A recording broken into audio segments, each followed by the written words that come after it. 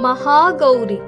ಶರದ್ ನವರಾತ್ರಿಯ ಎಂಟನೇ ದಿನ ಮಹಾಗೌರಿಯನ್ನು ಆರಾಧಿಸಲಾಗುತ್ತದೆ. ಗೌರಿಯು ಗಿರಿಗಳ ಪುತ್ರಿ. ಅವಳು ಎತ್ತಿನ ಮೇಲೆ ಕುಳಿತಿರುತ್ತಾಳೆ. ತಾಯಿಯು ತನ್ನ ಕೈಗಳಲ್ಲಿ ತ್ರಿಶೂಲ, ಅಭಯಮುದ್ರೆ, ಡಮರು ಮತ್ತು ವರದ ಮುದ್ರೆಯನ್ನು ಹಿಡಿದಿರುತ್ತಾಳೆ.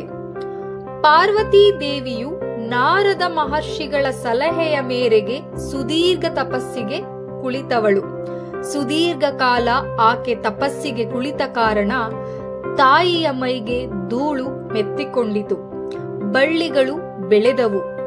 ಸೂರ್ಯನ ವಿಪರೀತ ಶಾಖದಿಂದ ತಾಯಿಯ ದೇಹವು ಬೆಂದು ಹೋದಂತಾಯಿತು.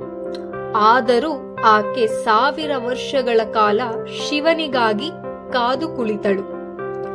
ಪಾರ್ವತಿಯ ಭಕ್ತಿಗೆ ಮೆಚ್ಚಿ ಪ್ರತ್ಯಕ್ಷನಾದ ಶಿವನು ಆಕೆಯ ಸ್ಥಿತಿ ಕಂಡು ಗಂಗೆಯ ಪವಿತ್ರ ಜಲವನ್ನು ತಾಯಿಯ ಮೇಲೆ ಪ್ರೋಕ್ಷಣೆ ಮಾಡಿದಾಗ ದೇವಿಯ ಮುಖ ಮೊದಲಿಗಿಂತ ತೇಜಸ್ವಿಯಾಯಿತು.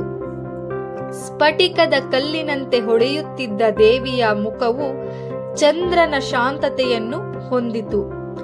ದೇವಿಯು ಮಹಾಗೌರಿಯಾಗಿ ಹೊಸ ಜನ್ಮ ಎತ್ತಿದಳು. ಮಹಾಗೌರಿಯು ರಾಹುವಿನ ಅಧಿಪತಿಯಾಗಿದ್ದಾಳೆ.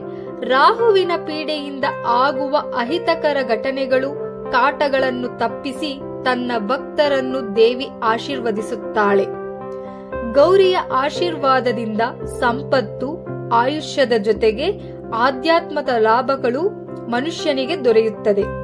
ನಮ್ಮ ಮನಸ್ಸಿನಲ್ಲಿರುವ ಗೊಂದಲಗಳನ್ನು ತಾಯಿ ಗೌರಿ ನಿವಾರಿಸಿ ಸ್ಪಷ್ಟ ಚಿತ್ರಣ ನೀಡುತ್ತಾಳೆ. ನಮ್ಮ ಹೃದಯದಲ್ಲಿ ಆತ್ಮವಿಶ್ವಾಸ ತುಂಬಿ ಯಶಸ್ಸಿನ ಕಡೆಗೆ ದಾರಿ ತೋರುತ್ತಾಳೆ ಶ್ರೀ ಮಹಾಗೌರಿ.